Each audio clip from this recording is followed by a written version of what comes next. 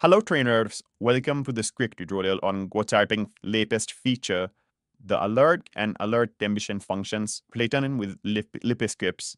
You can see this documentation of the GoCharting.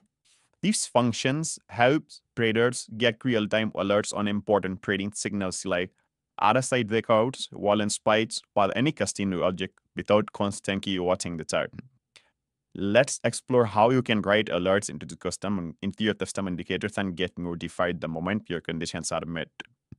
GoCharting has introduced a powerful feature in LipiScript called the alert function and the alert condition function.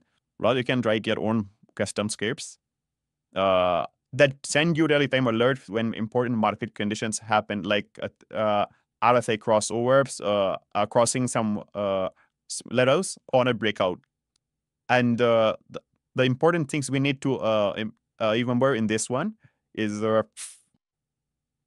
we have used the LipiScript language for these functions, and uh, alert and alert condition functions are limited to the custom built indicators and cannot be used with GoCharting inbuilt indicators.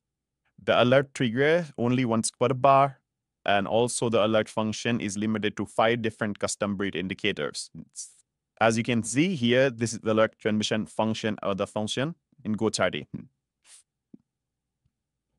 Now let us understand the difference between alert function and alert condition function in the GoCharting uh, And we will also do a live demo using the RSI indicator and volume indicator. The alert function uh, lets you trigger real-time alerts directly inside your code it fires automatically as soon as your condition is met, but you won't see it in the user interface.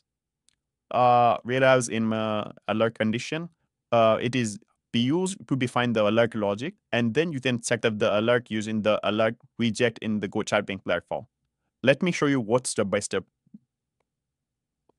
Let us jump into the chart of Bitcoin, a BTC in Binance in one minute time frame. I I have uh, I wrote a uh, step here but that alerts us when the RSI crossing above the 90. So there is a this escape 10 we will apply it on the check. Uh, there is some error. Okay. So we have saved the skip and we have applied in the on the check at huddle and the line means drawn at the 90 level.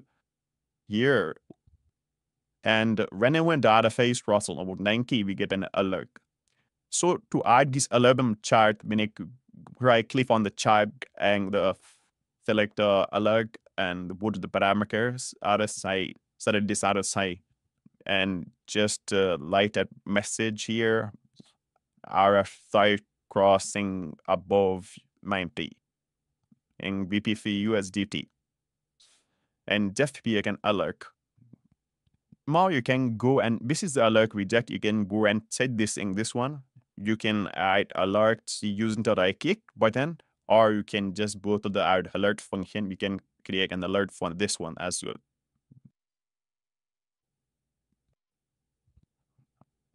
But remember, this alert uh, only works while the script is active on a chat. If you remove, if you remove this, uh, the alert will stop now let's uh, look at the alert condition. This one defines the condition inside the script, but you don't need to activate uh, the alert manually. Uh, let's this is on build script uh, which is used which has used alert condition function inside the script where uh, the volume condition is uh, created. Sorry, one minute can do when a water volume increases to 10, you get an alert. We have to apply this on the chart. The end, I click option to select the alert for the volume and the message always pop pops up directly here.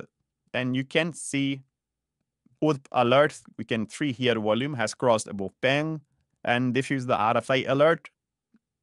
We are able to see that. Then also we can see the logs inside this one.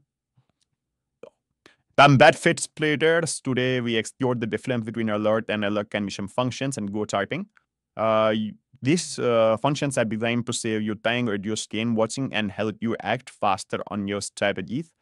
Thank you for watching, and don't forget to apply your scripts and set your alerts live. And it's might, and I'll see you in the next one.